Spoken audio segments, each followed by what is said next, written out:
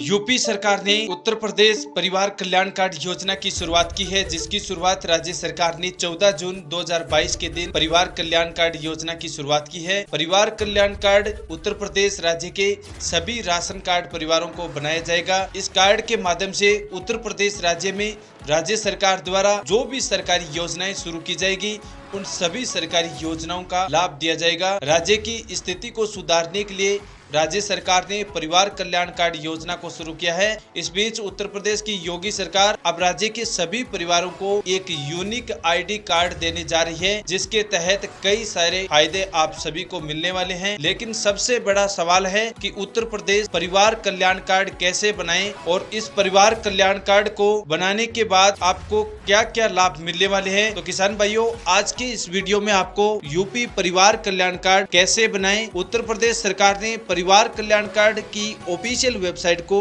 अभी तक लॉन्च नहीं किया है। जैसे ही सरकार की ओर से परिवार कल्याण कार्ड की शुरुआत कर दी जाएगी तो आप सभी को एक नए वीडियो के द्वारा सूचना दे दी जाएगी। लेकिन परिवार कल्याण कार्ड बनाने से पहले आप सभी को कुछ महत्वपूर्ण दस्तावेजों की आवश्यकता होगी और कुछ पात्रता भी है। उसकी जानकारी आपको वीडियो के डिस्क्रिप्शन में लिंक दिया हुआ है। वहाँ से आप चेक कर सकते हैं। परिवार कल्याण कार्ड बनाना आवश्यक भी होगा, क्योंकि परिवार कल्याण कार्ड के बिना आप सभी को उत्तर प्रदेश राज्य में जो भी सरकारी योजनाएँ शुरू की जाएगी, उन सभी का लाभ लेने से वंचित कर दिया जाएगा।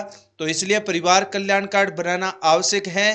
परिवार कल्याण कार्ड हर परिवार की एक पहचान होगी। तो आप सभी को बनवाना होगा। जैसे ही सरकार की ओर से परिवार कल्याण कार्ड की ऑफिशियल वेबसाइट को लॉन्च किया जाएगा। तो एक नए वीडियो में आपको एक सूचना दी जाएगी, जिसके माध्यम से आप परिवार कल्याण कार्ड का आवेदन कर सकते हैं। साथ में आपको लिंक दिया हुआ है वीडियो के नीचे। इस लिंक के माध्यम से भी परिवार कल्याण कार्ड की आवेदन प्रक्रिया को आप पूर्ण कर सकते हैं। किसान भाइयों, आप सभी को परिवार कल्याण कार्ड से संबंधित जानकारियाँ हमने बताई है। वो आप अच्छी तरह समझ गए होंगे। जैसे ही सरकार की ओर से वेबसाइट को लॉन्च किया जाएगा तो उस वीडियो वीडियो में आपको एक बार फिर से मिलेंगे। तब तक के लिए किसान भाइयों, आप हमारे चैनल को लाइक और सब्सक्राइब ज़रूर कर लीजिए, क्योंकि नए वीडियो की नोटिफिकेशन के लिए लाइक और सब्सक्राइब करना ज़रूरी है। तभी आपके पास नए वीडियो का नोटिफिकेशन पहुंचेगा। जय हिंद, जय भारत।